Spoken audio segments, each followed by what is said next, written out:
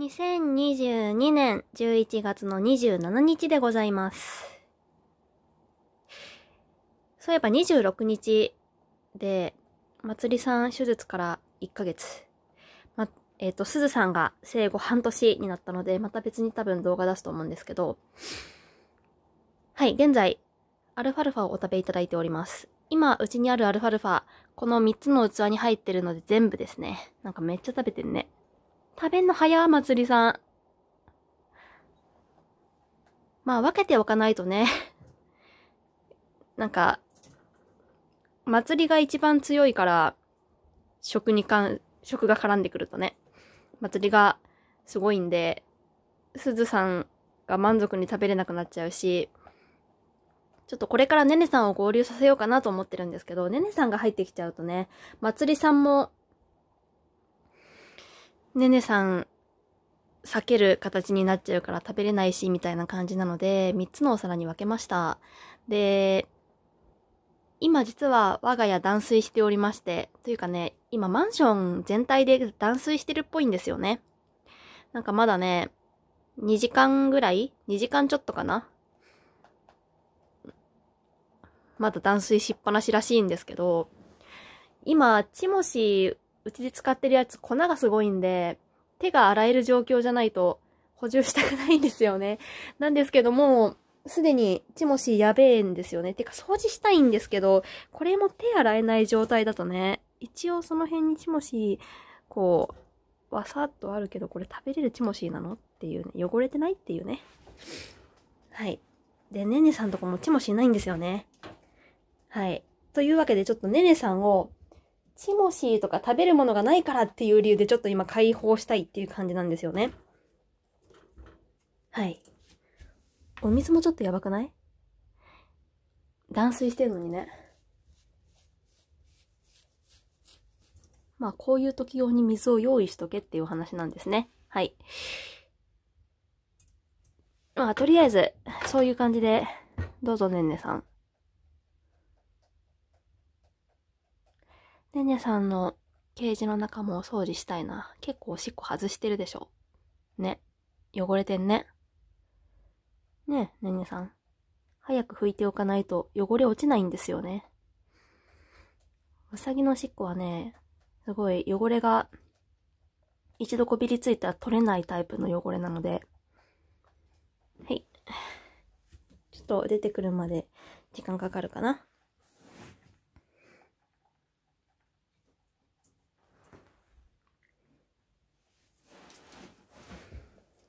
で、今回は、えっ、と、前回の女の子組とねんねさんの同時放流から3日経ってんのかな？多分前回が23とかが最後じゃなかったかな。なのでちょっと期間を空けていますっていうのと、今回は、あえ、まあ、お水が 断水してるっていうのもあって、ねねさんを解放する前にお掃除してません。で、今日丸ほぼ丸々一日、鈴、まつりさんとすずさんを、両方とも部屋に放流しっぱなし、まあ、うん、話し飼い状態っていうのかな？にしている状態です。今ね、女の子組は結構リラックス状態ですね。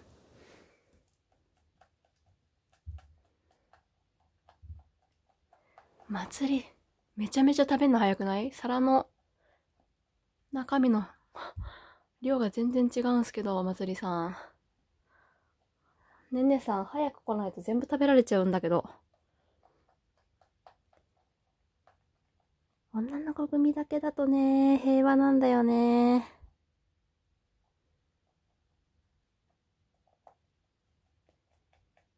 美味しいもの出てくるとちょっと祭りが怖くなるけど。ね、すずさん。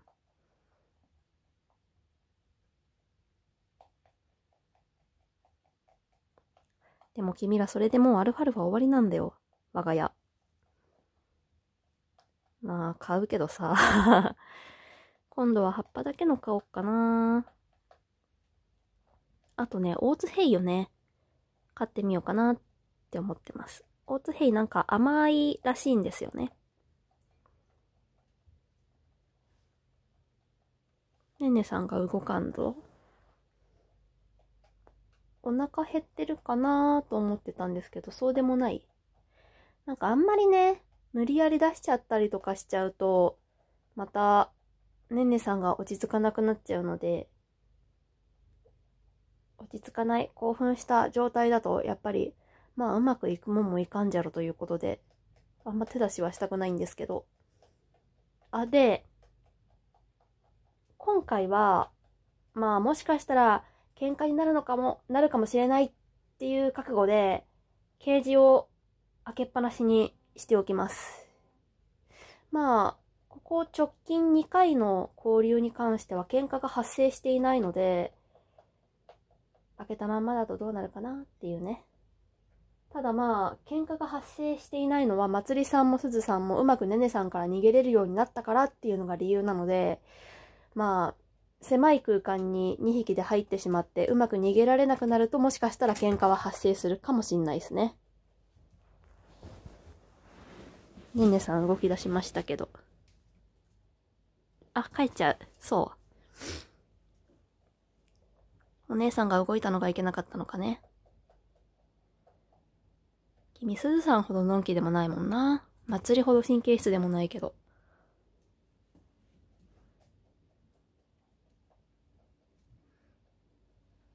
お腹減ってないねねさん。向こうにアルファルファあるよ。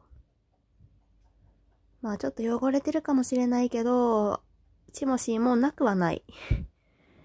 なくはないよ。ねねさん。美味しいものこっちにあるじょ。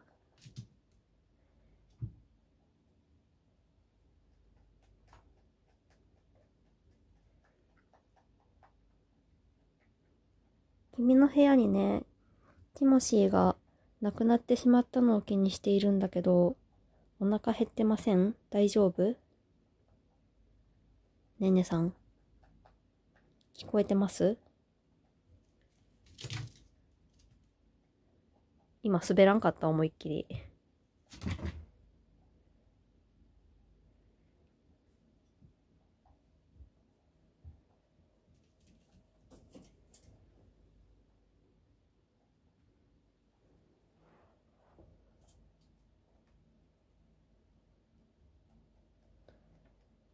食べ続けてるおばあちゃん。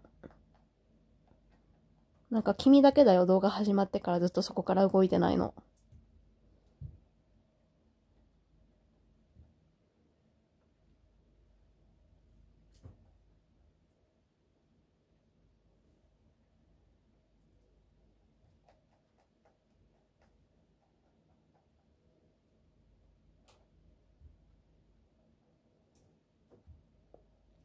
あ、テーブルも今回はあえていつも通りということで動かしてないです。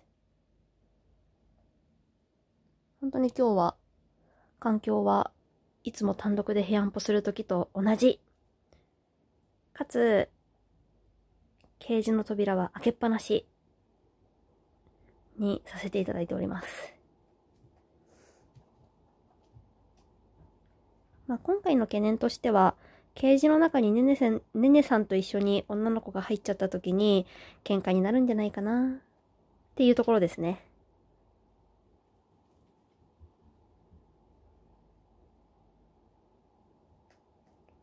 まあ、その他は女の子組がうまくねねさんから距離を取った状態を保てるのであれば多分まあ喧嘩は勃発しないだろうなっていう、ここ最近の傾向からして。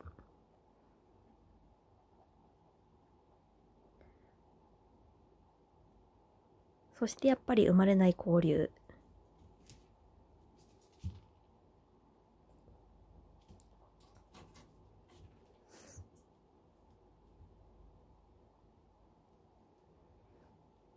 ねねさん、そっちに食べ物ないんだよね。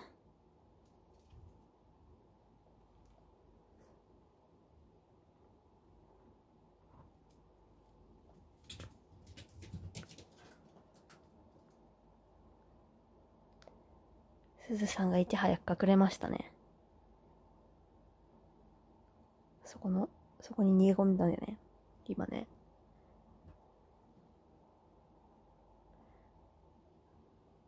逃げられてますけどねねさん。青いお目目綺麗ね、君。白い毛に赤い目っていうのはアルビノ種として、こう、有名というか、白毛に赤目って言ったらアルビノだよね、みたいな感じですけど、ブルーアイドホワイトも、まあ、いわゆるアルビノの一種ですね。まあ、これは、メラニン色素が関係してきているらしく、メラニンの、こう、含有量って言ったらいいのかな？によって色が変わると言われてますね。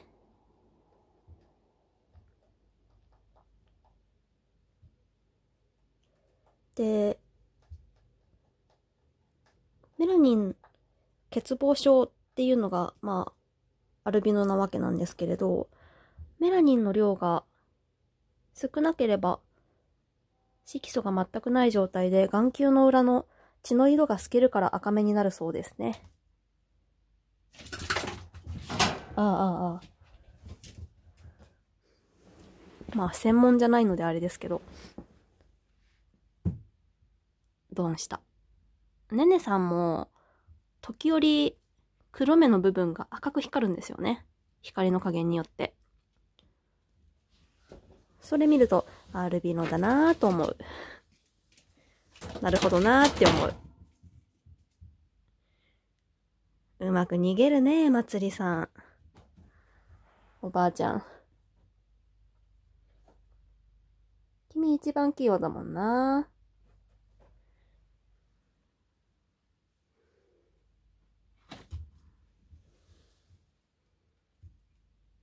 そう、君が食べてないのをね、ちょっとお姉さん気にしてたんで。まあ、氷はちょっと、そんな急にできるようになるわけないとは思ってるんであれですけど、とりあえず君は食べてほしい。アルファルファだよ。美味しいよね、アルファルファね。まあまあ食べてくれたので、とりあえずは大丈夫そうということで。お水は、まあここに若干と、まつりさんのとこに結構残ってんですよね。まあ、ケージの中に、こうもしかしたらね、喧嘩になるかもしれないから、ねねさんは入れないかもしれないので、もし、そうなってきたら、ちょっとここの給水ボトルをまつりさんの給水ボトルと変えさせていただこうかなと思ってます。ただまあもう言うて、あと、2時間弱ぐらいで、予定としてはね、水道の修理終わるらしいので、まあ、もしそれで、まだ水道復活しないというか、まあ長引きそうなのであれば、その祭りさんのボトルをこっちに差し替えでもいいのかなっていう感じはする。まあまだ、言っても2時間ぐらいで復活するよって言われてるわけだからね。すずさんが見えるね、そこね。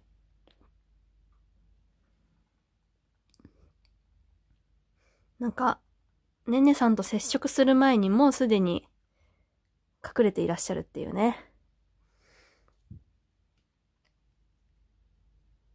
なんでそんな避けられてんの君。本当に。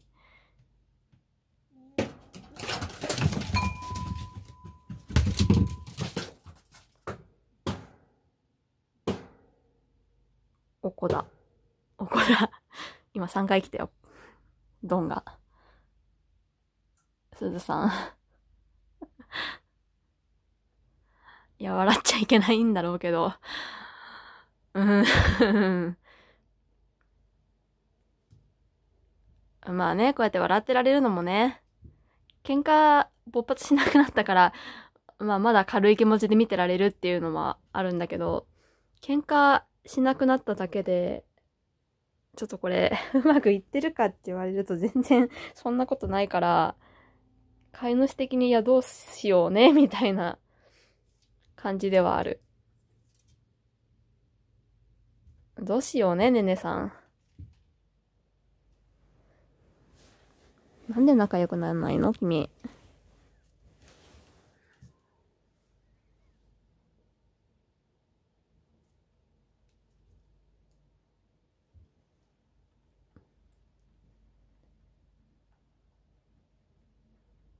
また、この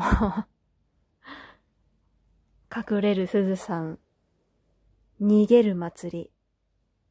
意外とマイペースなねねさん。という形でちょっと お送りする形なんですかね。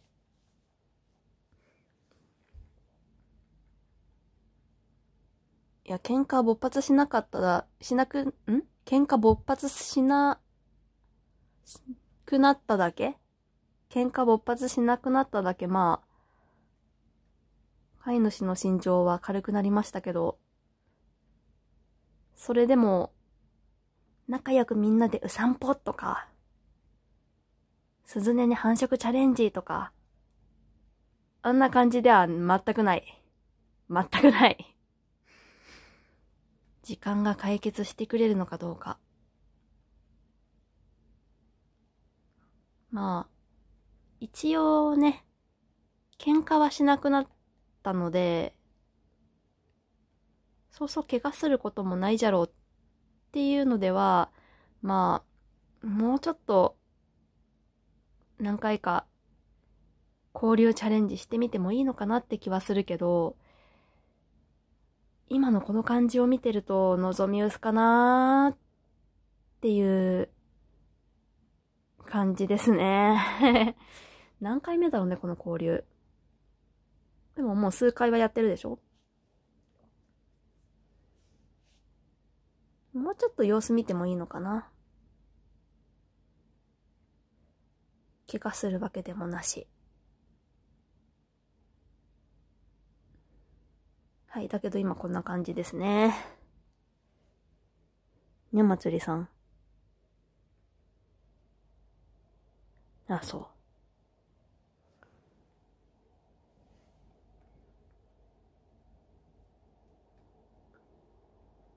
すずさん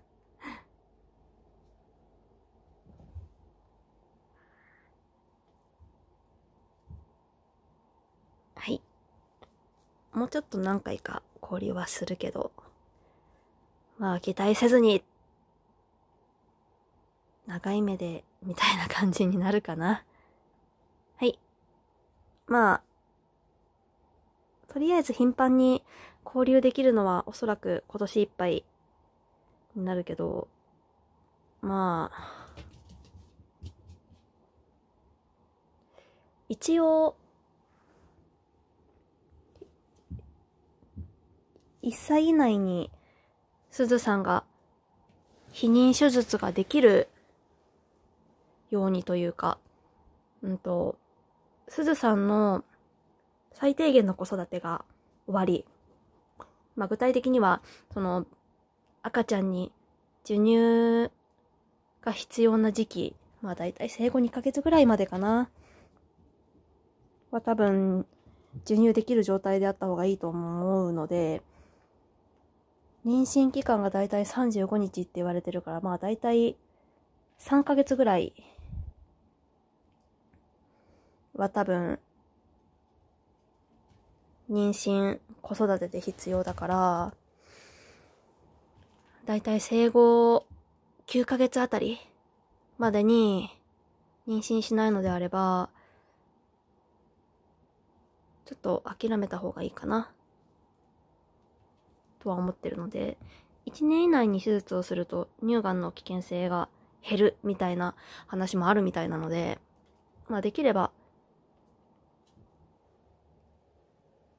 生後1歳になるまで生後生後1年 生後1年になるまでにとは思ってるので、まあ、生後9ヶ月になるまでは、まあ、のんびり、こんな感じで、チャレンジしてってもいいのかなとは思うけど、ちょっとそれ以降はね、考えなきゃいけないね。ひとまず、えっと、これからあと3ヶ月ぐらい。で、うち頻繁にできるのがあと1ヶ月。まあ、それまでは、まあのんびりこんな感じでチャレンジしていこうかなと思ってます。まあ、もちろん、すずさんにストレスとかかってないから大丈夫かなっていうのはあるので、そこはまあ、すずさんの様子見をしながら、っていうところではあるんですけど。ただまあ、現状ご覧の通り、逃げるすずさん。ん？逃げる祭りか。そっちにいらっしゃるね。逃げる祭り、隠れるすずさん、マイペースねねさんっていう感じなので、うーんなんですけど、まあ、そんな感じで、ひとまず、すずさんの生後9ヶ月ぐらいまではのんびり行きましょう。はい。本日は以上。早く断水治ってほしいですね。あと2時間弱ね。はい。